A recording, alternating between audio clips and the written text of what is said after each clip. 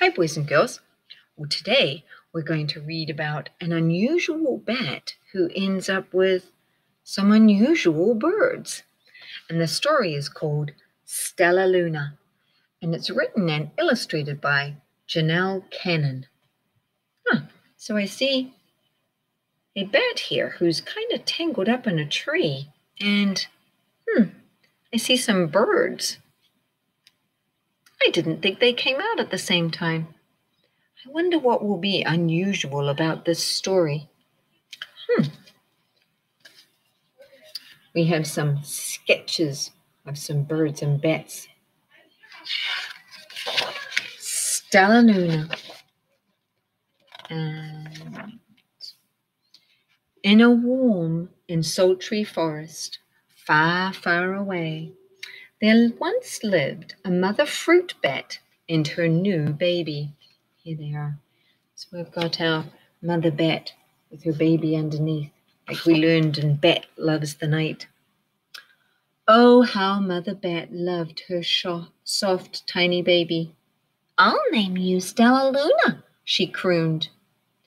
Each night, Mother Bat would carry Stellaluna clutched to her breast as she flew out to search for food. One night, as Mother Bat followed the heavy scent of ripe fruit, an owl spied her. On silent wings, the powerful bird swooped down upon the bats. Dodging and shrieking, Mother Bat tried to escape, but the owl struck her again and again, knocking Stellaluna into the air. Her baby wings were as limp and useless as wet paper. Down and down she went, faster and faster, into the forest below. And here's our owl swooping down on our bat. And here's Stellaluna falling down, down through the night. So now we know that bats are prey for the owls, who is our predator. The dark, leafy tangle of branches caught Stellaluna as she fell. One twig was small enough for Stellaluna's tiny feet. Wrapping her wings about her, she clutched the tiny, thin branch, trembling with cold and fear. Mother, Stellaluna squeaked, where are you? By daybreak, the tiny bat could hold on no longer. Down and down, again she dropped. There she is, clinging onto the twig, but she can only hang on for so long with her little feet. Now she's falling again. Flip! Stellaluna landed head first in a soft, downy nest, startling the three baby birds who lived there. Stellaluna quickly clambered from the nest and hung out of sight below it. She listened to the babble of the three birds. What was that? cried Flap. I don't know, but it's hanging by its feet, chirped Flitter. Shh! Here comes Mother, hissed Pip. There she is landing in the nest, and we know she gets out and hangs underneath it. Here's our three baby birds Flap, Flitter, and Pip. Many, many times that day, Mama Bird flew away, always returning with food for her babies. Stellaluna was terribly hungry. Ugh! But not for the crawly things that Mamma Bird brought. Finally, though, the little bat could bear it no longer. She climbed into the nest, closed her eyes, and opened her mouth. Plop! In dropped a big green grasshopper. Ugh, for a fruit bat. So if her name is Fruit Bat, what do you think she eats? Yeah, fruit which makes her a herbivore. So, is she going to like the flavor and the taste of a grasshopper? Yeah, I don't think so. Stella Luna. She learned to be like the birds. She stayed awake all day and slept all night. She ate bugs even though they tasted awful. Her bat ways were quickly disappearing, except for one thing. Stellaluna still liked to sleep hanging by her feet. Once, when Mama was away, the curious baby birds decided they would try it too. When Mama Bird came home, she saw eight tiny feet gripping the edge of the nest. Neek! she cried. Get up here this instant! You're going to fall and break your necks!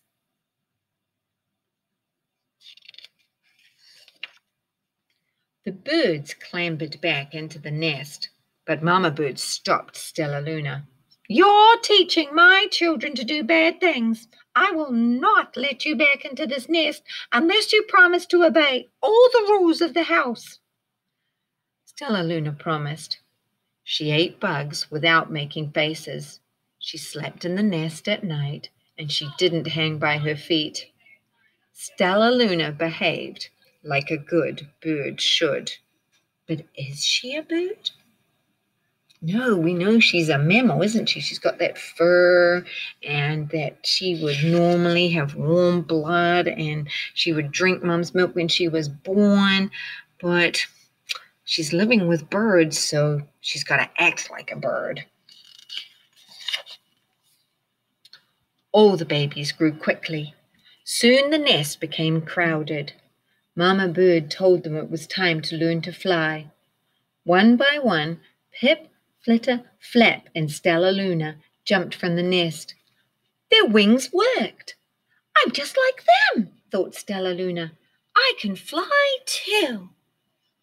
if we look carefully, we can see her thin skin wings with those finger bones that we learned about in Bat Loves the Night. Here we've got her feathery friends. Pip Flitter and Flap landed gracefully on a branch. Mm, Stellaluna tried to do the same.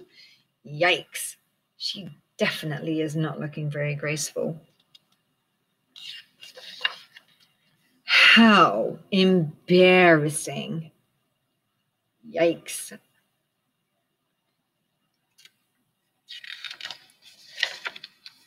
I will fly all day, Stellaluna told herself.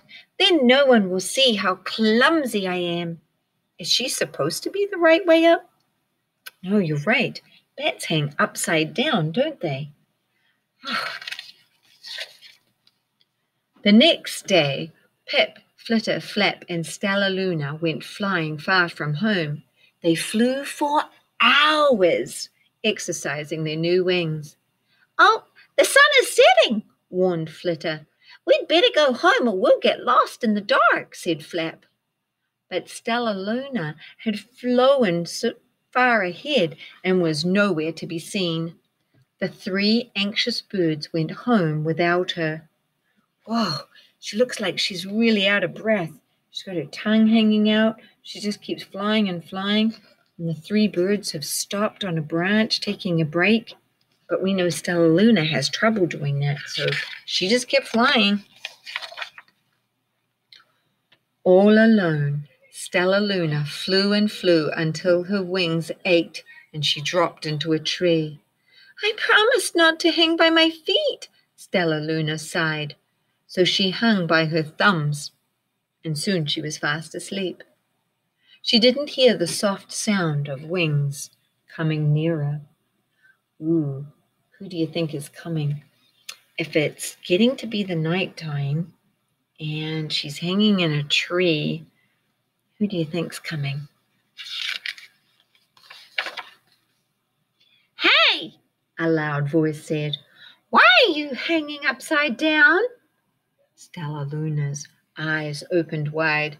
She saw a most peculiar face. Uh, I'm not upside down. You are, Stellaluna said.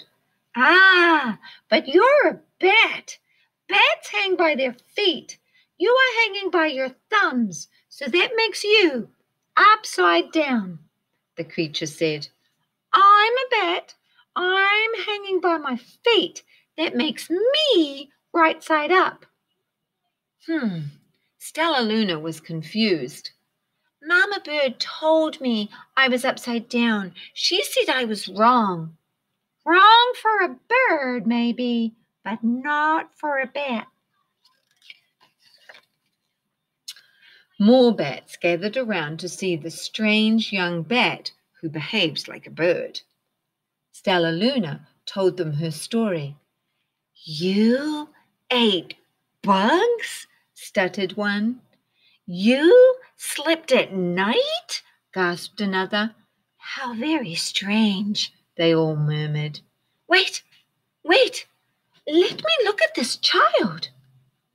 A bat pushed through the crowd. An owl attacked you? she asked. Sniffing Stellaluna's fur, she whispered, You are Stellaluna. You are my baby.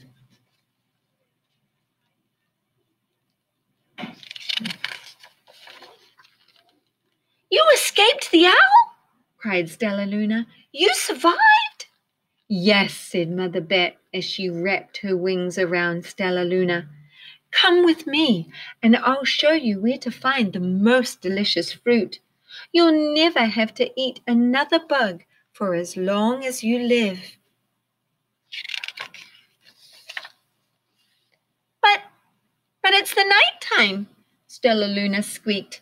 We can't fly in the dark, or we will crash into the trees. We're bats, said Mother Stellaluna. We can see in the darkness. Come with us.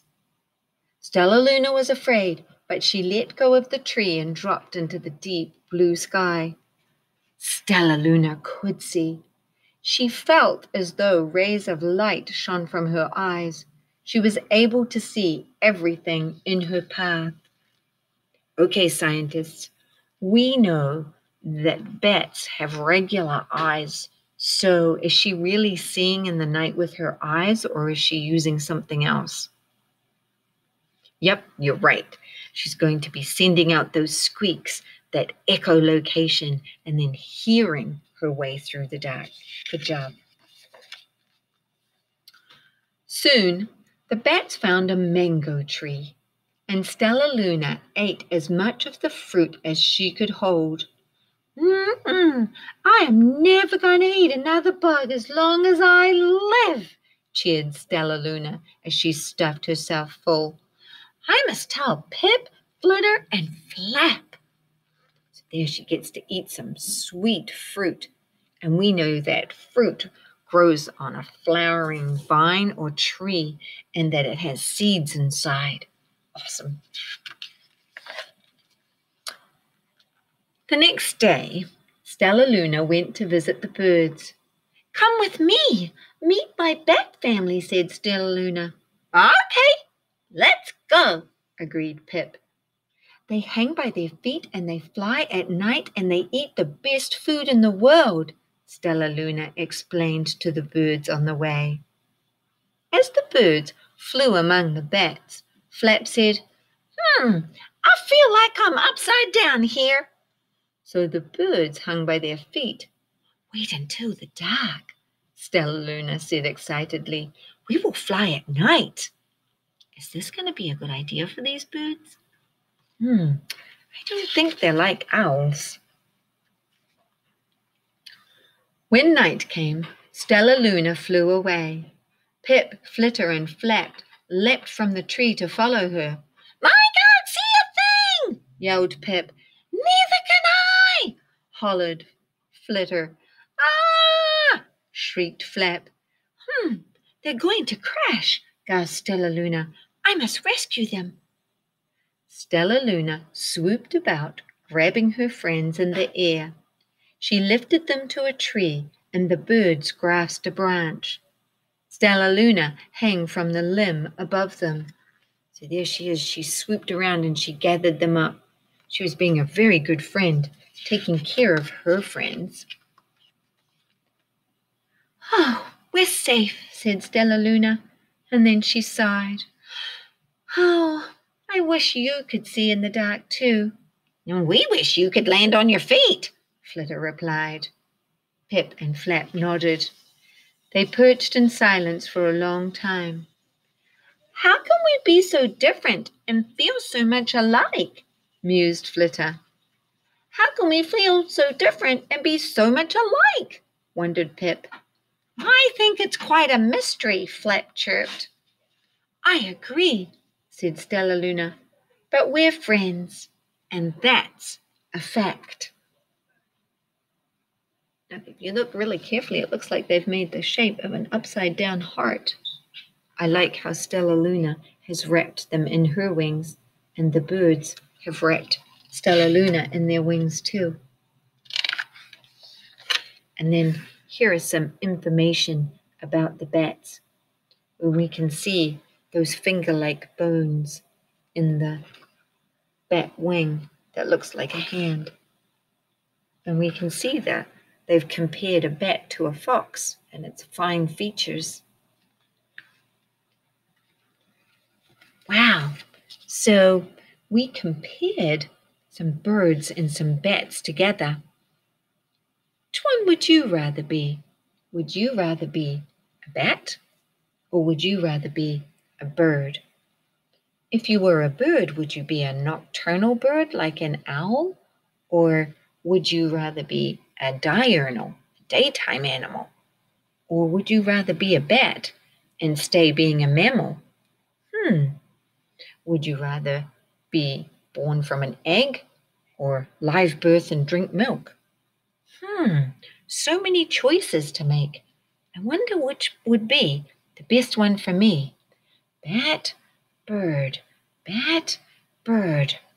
Hmm, that's going to be a tough choice.